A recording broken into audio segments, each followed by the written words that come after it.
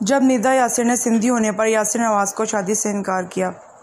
पाकिस्तानी अदाकार और मरूफ मेज़बान निदा यासिर ने इंकशाफ किया कि उन्होंने शोहर अदाकार, डायरेक्टर यासिर नवाज़ की जानब से की गई शादी की पेशकश ठुकरा दी थी।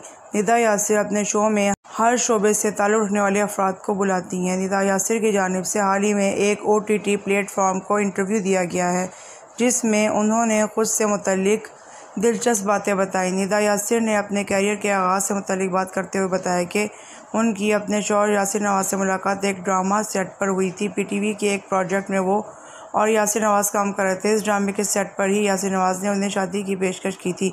निदा यासिर का वायरल होते इस मुख्तर से वीडियो क्लिप में बताना है कि उन्होंने फ़ौर ही यासिर नवाज़ को शादी से इनकार कर दिया था और कहा था कि मैं आपसे शादी नहीं कर सकती, क्योंकि आप सिंधी हैं। निदा यासिर ने मज़ीद कहा कि इस पर यासिर नवाज़ बहुत हैरान हुए और उन्होंने कहा कि मैं सिंधी हूँ कोई हिंदू नहीं हूँ।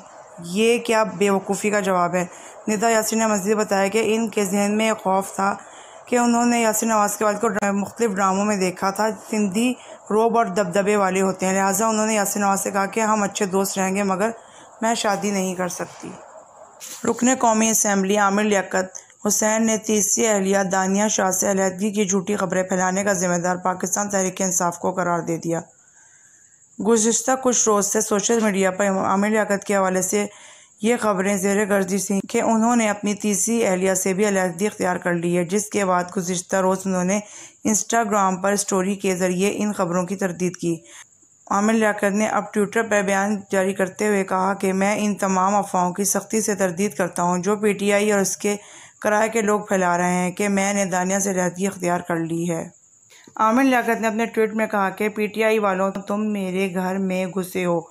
मजबूर मत करो कि बनी गाला में तीसरी बीवी के किस्से सुनाओ मैं एफ़ आई ए और मुतल अदारों से मुतालबा करता हूँ।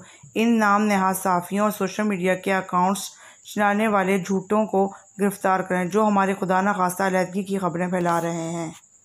बहुत से लोग चाहते हैं कि उनकी बड़ी शानदार और ख़ूबसूरत और लेविश किस्म की शादी हो, लेकिन सबकी ये मुमकिन नहीं होती। पाकिस्तान में एक हिंदू कपिल ने ऐसी शादी की है।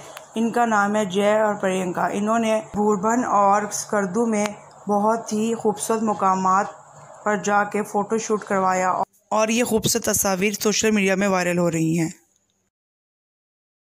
एक्सप्रेस में गेम शो खेल के जीत आता है, जिसके होस्ट शहरियार मुनवर हैं। इस शो में सायरा, यूसुफ आई, लोगों ने दोनों के साथ शो बहुत पसंद किया। इंटरनेट पर तूफ़ान आ गया। इनके साथ इनका बेबाक फ़ोटोशूट आपको याद होगा। इनके दरमियान रिलेशन की अफवाहें भी मशहूर हैं।